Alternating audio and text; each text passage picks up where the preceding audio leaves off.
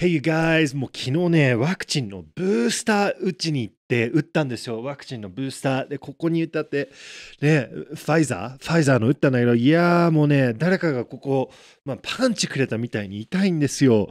で、どうですか？皆さん、こうやってワクチンの話っていうのを持ってくると、中には、あ、クリスワクチン打ったんだって思う人もいるし、え、クリスワクチン打ったの？って思う人もいるんじゃないかなと思うんですよね。で、ちょっと例え話なんだけど、ここに真ん中に川があるとしましょうよ。で、こっち側がね、あ、ワクチン打ってくれてありがとうって思う人たちがいて、で、こっち側の川のこっち側には、ね、え、ワクチン打ち上がったの？ワクチン打っちゃダメだよって思ってる人がいるとしましょうよ。ね。で、アメリカには間違いなく、このね、川のどっち側に立つのかっていうのが本当に起こってくる、起こってるわけなんだよ。で、日本はどうだろう？ね。で、僕がこの話をするためになんとね、この間、もう、世界でこんなでっかい川の跡はあるのかみたいな、もうすっごい古代の川をね、行ってきてこのビデオを撮ってきたんですよ。なので、ちょっと実はもうこのビデオ撮ってあるので、今日なんか変になるかなと思ったから、ちょっとどこに行ってきたのかっていうのをちょっと地図で見せてもらっていいかな。見せるよ。半端ないのよ、これ。いや、本当に。で、これがニューメ US の、えーと、僕が今いるのは、ここの星のところ。ね。あのー、サンタフェっていうところなんですよ、ここ。ね、で、ちょっとマウンテンがね、右側にあって、で、ちょっと何これや？何これ？えこれ富士山に似てないみたいな感じでこれね古代の爆発した山がここにあるのね。面白いんですよ。でちょっと北に行くとねこのこのライン見える？これなんか普通じゃん。普通だよね。普通だよね。ちょっと待って Google Earth スイッチ。じゃじゃーん。なんとこれが Google Earth なんだけど、ね、ちょっと見ると、ね、さっきの川だよねこれすごいんですよ、この川。こんなでっかい川見たことある？これ。見てこれ。ね。すごいでしょ、これ。で、これすっごい深いの。まあまあね、これ僕はここで話しても意味ないので、ちょっと一緒に旅に行って、このね、川に一緒に行きましょうよ。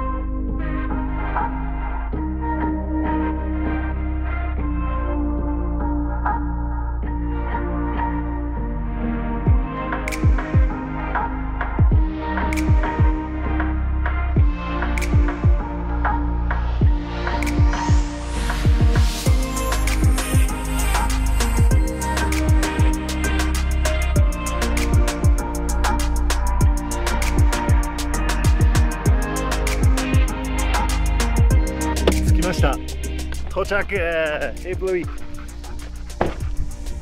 ここはねリオグランデっていう場所でもうグランドリバーっていう意味だと思うんだよね。リオって。川だから。もう本当にすっごい素敵な場所なんですよ。でおそらく個人的には僕はこのようなメガジャイアントな川を見たことがないんですよ。見えるかなこの川。すごいっしょ。すごいねこの川。うわ 危ない危ない危ない。ほんとここロッククライミングできる。ねロッククライミングもできるよこうやって。この辺。うわちょっとマジ。ちょっと怖いここ。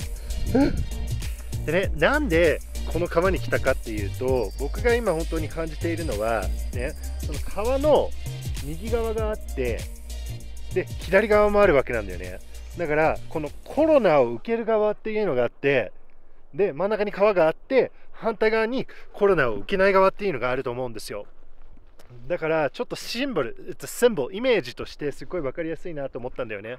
でも、ちょっとその前にね、僕お腹空いたので、僕がアメリカでめちゃくちゃ大好きなアメリカンフードをみんなに紹介したいんだよ。この間ね、YouTube ライブやってたらね、なんかカルチャーの違いみたいなの紹介したらってね、言われたんですけれども、もうお食事僕らもめっちゃうまいね。なんと、この食事をご覧ください。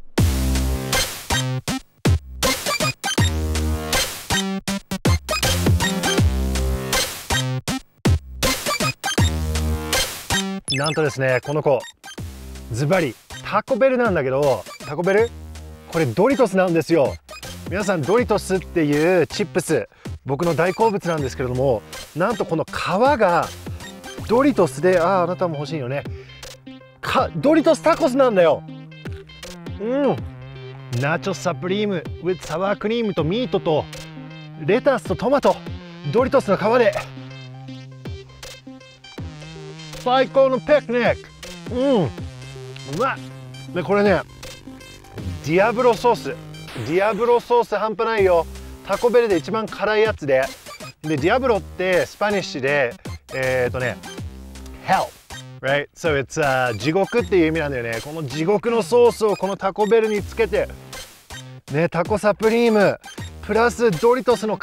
これたまんないんですよ。マジうまいの。なちょっと欲しい、ね、ソースは食べない方がいいよ。いいよねこれ。うん。ちなみに今日のドリンクはゲーターレード G2 ねダイエットゲーターレードです。美味しいよ人生いいぜ。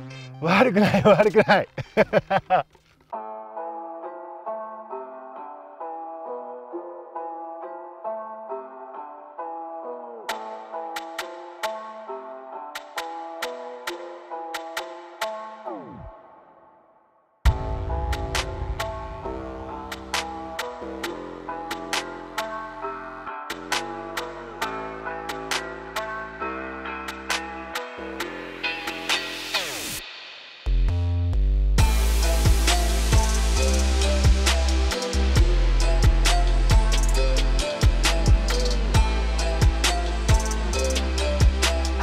あらかじめましてですねクリス・モンセンと申します。ようこそクリスの部屋へ。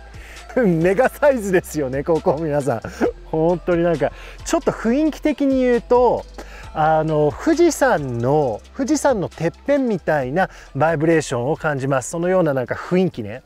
で、えーと、ここら今ちょっと見えないかもしれないんだけどデザートセージね、砂漠の聖地っていうのがいっぱいあってでこれネイティブの人たちにはねとても大切なあのお花っていうか植物でで乾かしてあのくるくる巻いて燃やしたりするとあの聖地スモークって言ってねあの煙が出てきますでこれで煙でね自分のお部屋を整えるとかねいろんなねエネルギーを整えるとかだから本当にこのエリアはとてもスペシャルなエリアだと僕は本当に思うんですよ。今日のメインのテーマなんですけれどもね。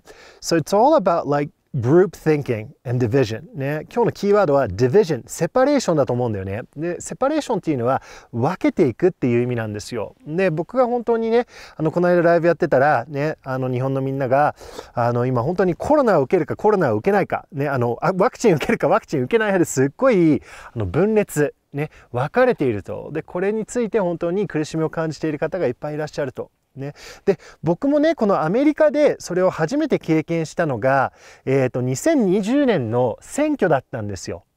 2020年のでそのあのトランプ派とバイデン派っていうのがあってもうすっごい分かれたんですよね。で僕このコロナもすごい似てると思うんですよ。ね、コロナは受けるのあのワクチン受けるのかワクチン受けないかってでどのようなテーマが今時代的にあるっていうのはその自分が何を選んで生きていくのかっていうのが選べる時代になってきたと思うんですよね。自分で何を信じるかっていうことなんですよね。で、この何を信じるかによって、そのアクションを取ること、それを選ぶことによって、自分の人生がもうくるくる変わっていくわけなんですよね。ね、例えばワクチンを受けないといけないぞって受けてね思っている人はワクチンを受けるのが正しいからワクチンを受けないのが間違いだって思い始めます。でその次に起こる表情がねワクチンを受けないたちが悪いんだあの人たちがダメなんだっていう世界に自然に入ってくると思うんですよね。でこれもちろん反対側もあります。ワクチンを受けて、受けない人、受けない側にすると、なんでワクチン受けるのって？おかしいよ。あんなの危ないよ。ラッシュしすぎてるよ。人が亡くなっているんだよ、ワクチン受けると。おかしいよって。なんでこれを受けないといけないっていう法律に作っていくの？なんであなたたちこういうのやるの？てこのような世界自然になんか道が分かれるような感じだと思うんですよね。でよく考えてみるとこの撮影場所のねあなたはどちら場所に立つのか。こっち側のねこの左側の川の左側に立つのか。それか川の反対側に立つのか。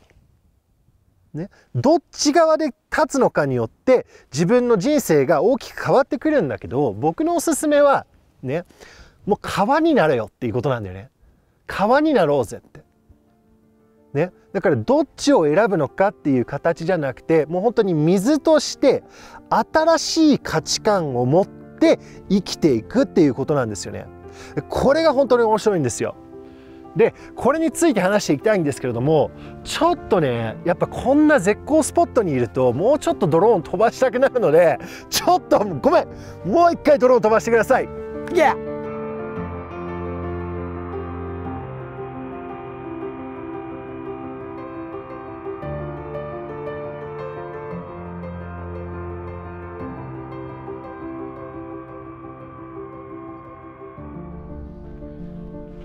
サンセット。綺麗綺麗。綺麗なサンセット。誰がなんでこうしないといけないのって決めたの？